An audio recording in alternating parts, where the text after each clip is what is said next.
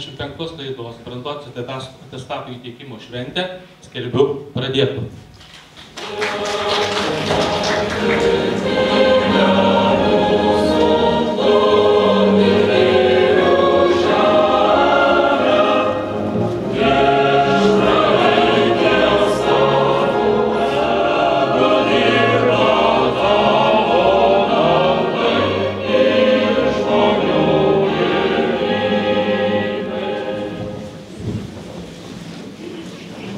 Štai e, ir sulaukime tos dienos, kada Linkuvos gimnazijos 85 laidai bus įteikti brandos atestatai. 45 abiturientai gaus brandos atestatus, Lietuvoje jų bus apie 48 tūkstančius ir jie bus išskirtiniai. Išskirtiniai to, kad jie, turi, jie bus vieninteliai, todėl kad jie, Lietuva švenčia tūkstantmetį ir tie atestatai pažymėti šitą datą. Jūs esate tikrai išskirtinė laida. Išskirtinė laida Lietuvai, mokyklai. Mokykla šventė su jumis ir jubiliejų 90 metų, jums 85 laida tokia jubiliejinė. Aš visos nuoširdies jums linkiu kuo geriausios sėkmės. Jūs pagaliau įžengsite į suaugusių pasaulį. Atrodo, tos dienos laukėte. Štai jums šiandien atėjo. Reikės jau paties rinktis patiems, kaip, kur, kaip gyventi. Laikmetis yra nelengvas. Mes visi suprantame šitą dalyką. Bet linkime jums sėkmės. Mėly mūsų moksleiviai. Aš džiaugiuosi už jūs, kad puikiai laikėte egzaminus. Aišku, mes nesam tarp pirmųjų, mes kaip visada Atžalynas ir Linkuvos gimnazija. Vienas, trupučiuką, vieną mes atsiliekam nuo Atžalyno, bet egzaminus išlaikėte gerai. Aš džiaugiuosi už jūs. Aš džiaugiuosi tai, kad aišku negavome šimtukų, bet netoli šitų skaičių mes buvome.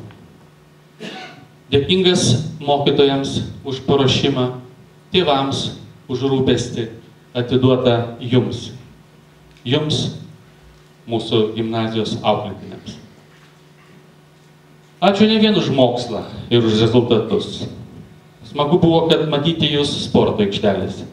Jūs buvote viena iš geriausių krepšinio komandų. Puikiai atstovavote įvairiuose renginiuose. rajono Linkuvos gimnazijos direktorius. Įsakymas. Dėl brandos atestatų išdavimo. 2009 m. Liepos 4 numeris V117 Linkuva. Vadovaudamasis Lietuvos Respublikos švietimo ir mokslo ministro 2007 m. vasario 20 dienos įsakymu numeris įsak 236 įsakau Išduoti brandos atestatus ir jų priedus gimnazinių klasių mokiniams baigusiems vidurinio ugdymo programą ir įgyjusiems vidurinį išsilavinimą.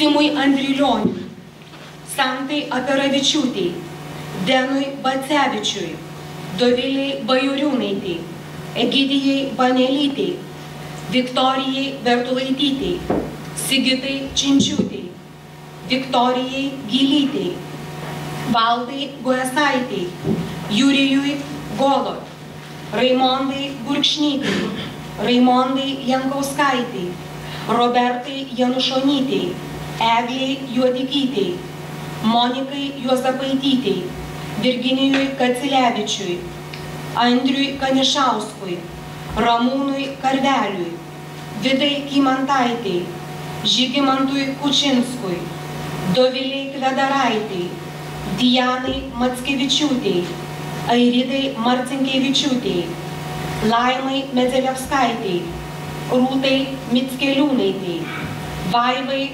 Ožiūnaitei, Egidijui Ožiūnui, Julijai Paleškevičiūtei, Mariui Pažemeckui, Pauliui Pažemeckui, Gyčiui Rakauskui, Karoliui Riekašiui, Rimvidui Stanevičiui, Vaidui Stankevičiui, Vidmantai Stankevičiūtei, Kristinai Šeiningaitei, Akviliai Šerkšnytei, Mariui Šidlauskui, Stanislavai Šimaitytei, Egliai Šimulytei, Robertui Šmitui, Sigitui Šurnai, Rasai Vasilevičiūtei, Šarūnui Venslovui, Algirdui Vengraičiui, Egliai Žugaitytei.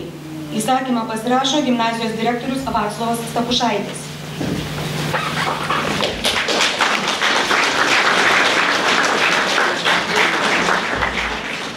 Aš nesuspėjau daug ką jums įteikti per mokslo metus. Jie gavome padėkos raštų įvairių už dalyvavimą įvairiose olimpiadose, dalyvavote sportinėse varžybose. Todėl mes viską įdėjome kartu prie jūsų brandos atestato ir kartu viską gausite. Dabar norėčiau pradėti įteikimą jums išrašytų brandos atestatų.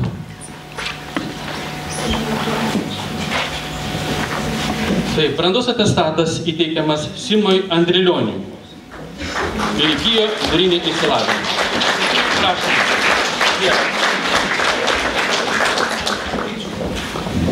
Brandos atestatas įteikiamas Sandrai Aparavičiūtei.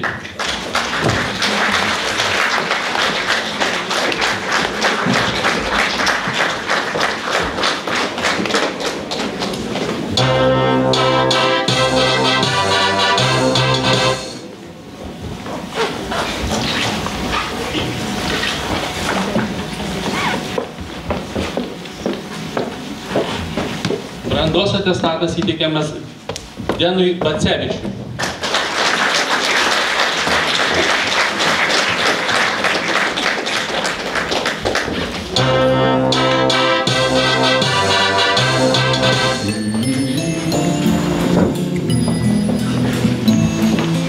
Brandos atestatas įteikiamas Dovilei Bajoriūnaitei.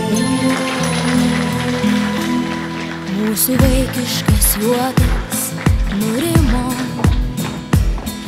paskutinio skambučio aiduos ir daugiau nebebus pratesimo, nebėra šiam romanui Brandos atestatas kokios Kanišauskui. laukia. Tuščiame ateities traukinį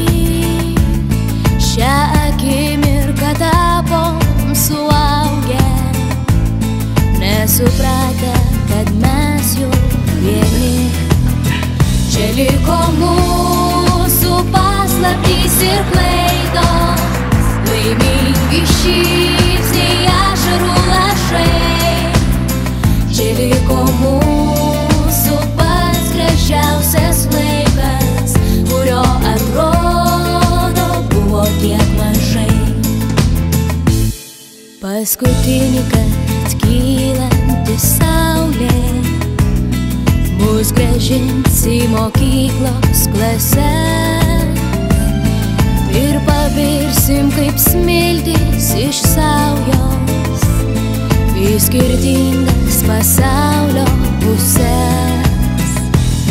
Nežinia, kokios sutemos laukia tuščiame ateities traukinį. Šią akimirką tapom suaugę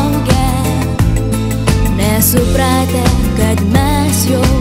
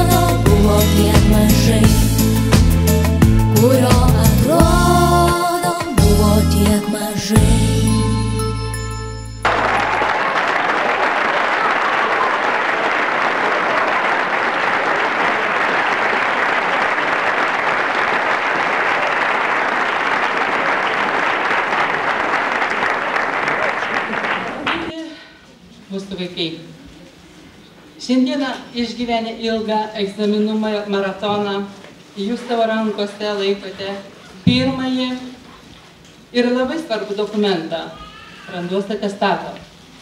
Tai iš tikrųjų labai sunkiai uždirbtas jūsų pirmasis dokumentas.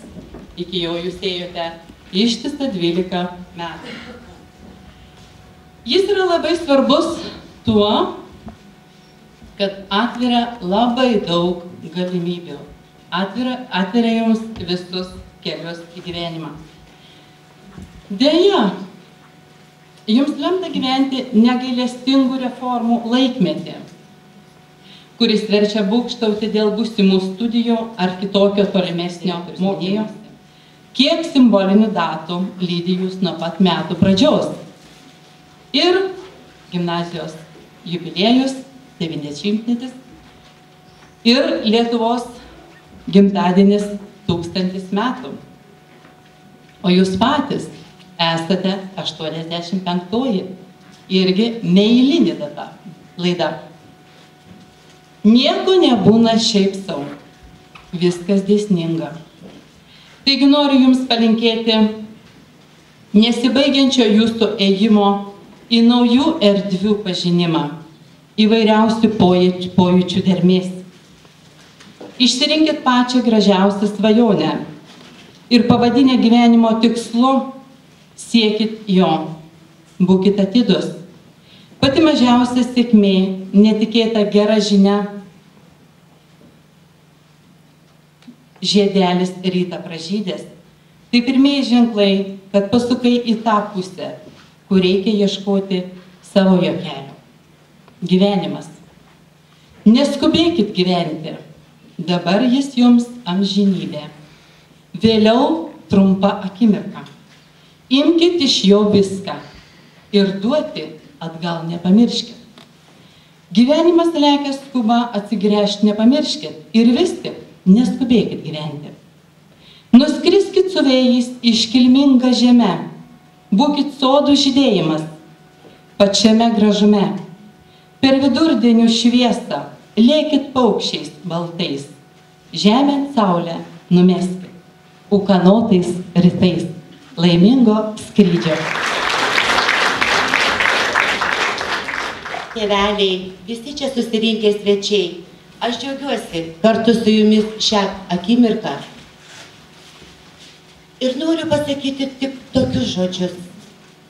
Norėčiau, kad jūs visuomet kankintų nenumaldomas žinojimo troškulys. Būtumėt smalsus ir atidus.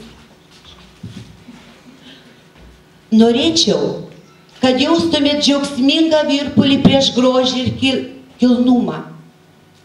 Gyvenkite kaip sakė Mikalojus Konstantinas Čiurlionis, su nuolat plačiai atmerktomis akimis, viskam, kas gražu, matykite viską.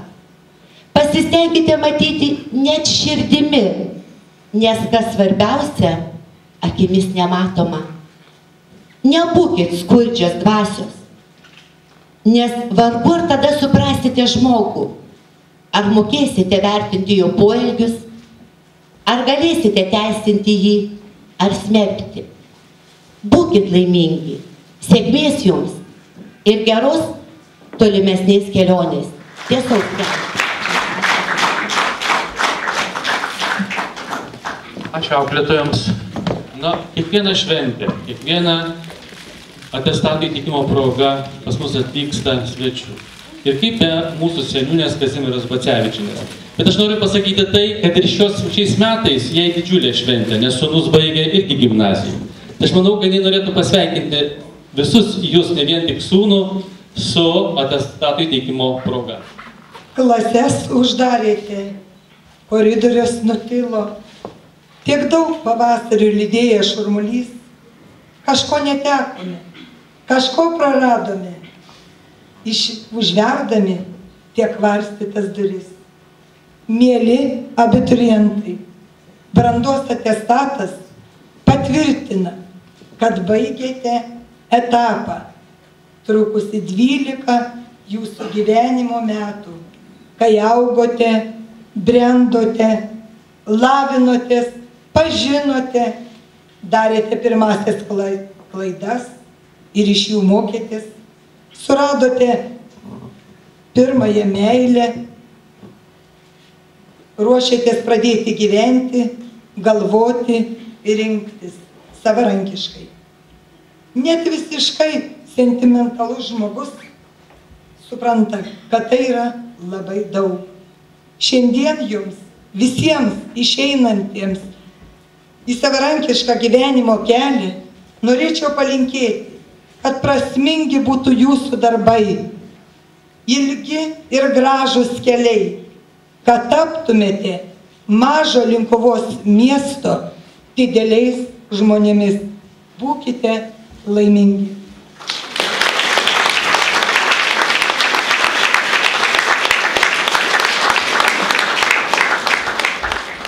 Tūkstantmečio Lietuvos vaikai.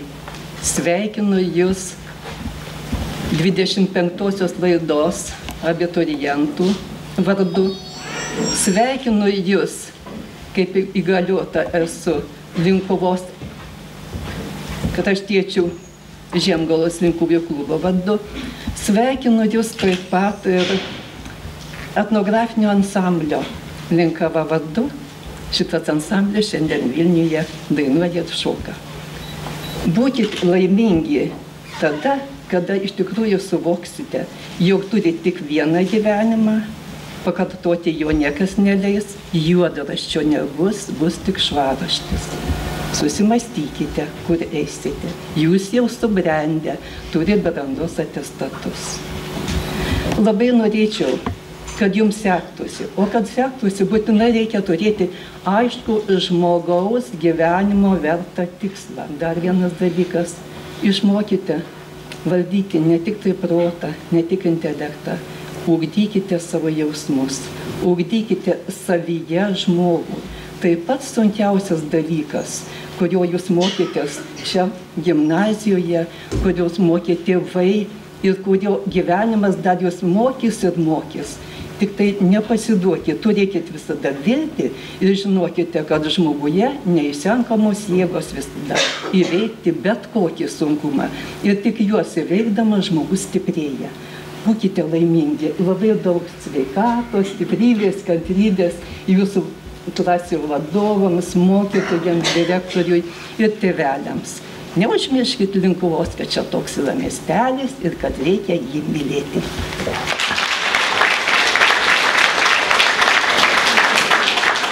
Turbūt jūs visi atsimenate prieš kokius porą metų moksleivių Linkuvos gimnazijos Albina Kurkulį, kuris praeitais metais įteikinėjo, ar užpraeitais metais įteikinėjo premiją.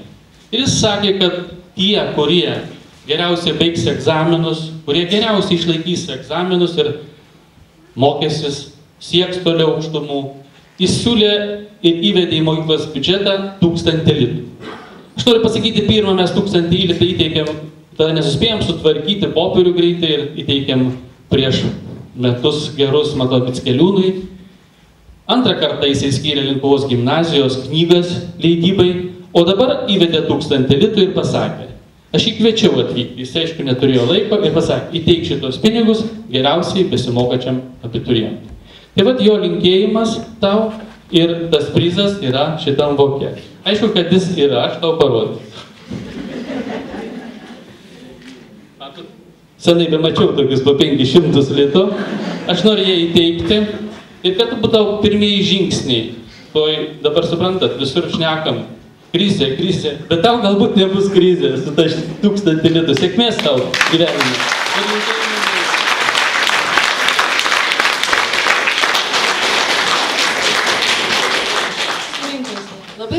Noriu visų abiturientų vardu dar kartą padėkoti mokyklos bendruomeniai, kurie augina mus tuos ilgus metus ir aišku čia visiems susirinkusiais. Na, o mes, abiturientai, ką mes galime savo palinkėti? Manyčiau, labiausiai mums reikia palinkėti vieniems kitiems sveikatos ir laimės. Taigi linkiu sėkmės ir sveikatos. Dėkui.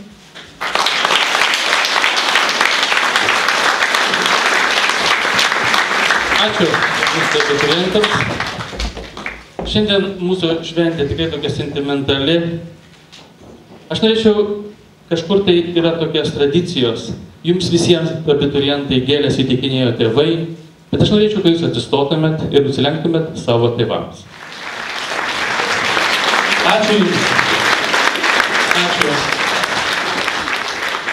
Jūs jie sveikino, padėkoju. Pastačiau su baltą namą, langus paviršau ir dabar juodam patamsiai savo eilės rašau. Ir juoda tamsa tirštėja mano pakiuos ir nežino niekas gyvas raudo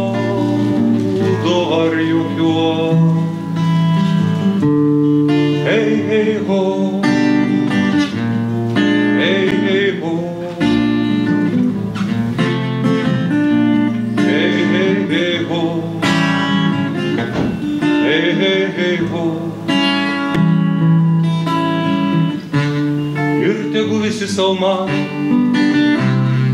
eidami žemę, kad tik šviesios eilės gema baltame name. Pastačiau savo baltą namą, langus paviršau ir dabar juodam patamsytą eilės rašau. Hey, ho. Hey, hey, ho. Hey, hey, hey, ho. Hey, hey, hey, ho.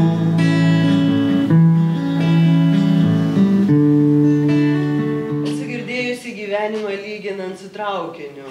Gyvenimas kaip kelionė traukiniu. Įdomu. Vienose stotelėse įlipa mums labai brangų žmonės, mūsų draugai, mūsų artimieji, mūsų broliai, sesės, mūsų tėvai, mūsų draugai, mokytojai. Vienose stotelėse mūsų laukia malonios staigmenos, kitose kartus nusivylimai. Vienose stotelėse įlipa žmonės, bet kažkodėl kitose jie išlipa. Mums būna labai sunku išsiskirti su tai žmonėmis. Kartais mes nustembame, kad žmogus, kurį mes mylime, kažkodėl pereina į kitą vagoną. Aišku, niekas nedraudžia jo ieškoti po visą traukinį, bet kartais mes negalime šalia jų atsisėsti, nes vieta jau būna užimta. Nieko baisaus. Tokia tad kelionė traukiniu. Gyvenimas kaip kelionė traukiniu. Aišku, labai sunku išsiskirti su žmonėm, kuriuos mes mylime. O labiausias ir skaudžiausias išsiskyrimas. Mūsų laukia, kai vienoje stotelėje kažkodėl ima ir išlipa iš mūsų gyvenimo traukinio žmogus, kuris mus įsodino į jį, kuris mus pirmą sutiko gyvenimo kelyje, tai mūsų motina. Mes kažkodėl galvojame, kad jinai neturi teisės išlipti iš mūsų gyvenimo traukinio, kad jinai turi važiuoti visada, nes ji mūsų mama, bet tiesa yra kita. Kažkodėl jie ima ir išlipa, palikdama mus be savo meilės, be šilumos, be globos. Ir tik tai didysis garvežistas žino, kad didžiausia šios kelionės paslaptis yra ta, jog mes ne vienas nežinome, kada mums teks išlipti. Ir belieka tikėtis, kad visi vienoje centrinėje stotyje susitiksime. Taigi, motina.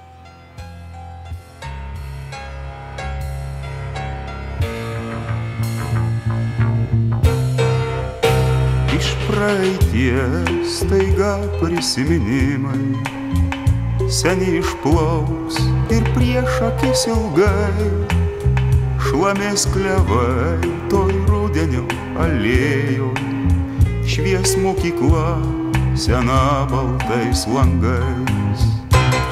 O klasėje atrodys kaip kaip buvę. Seniai suolai eilė juoda lenta. Ir sakinys lik užrašytas vakar Su ta pačia gramatinė klaida Tik kaip surast kažkur tarp vadovėlių Tas klasės nuotraukas labai labai senas Ir nors sekundė, kad išplauktų vėliai lyg iš miglos man tavo šypsena. O klasė atrodys taip, kaip. Seni suolailė, juoda lenta ir sakinys, lyg užrašytas vakar su ta pačia gramatinė klaida. O klasėje atrodys taip, kaip buvę seni suolailėm, juoda lenta ir sakinys, lyg užrašytas vakar su ta pačia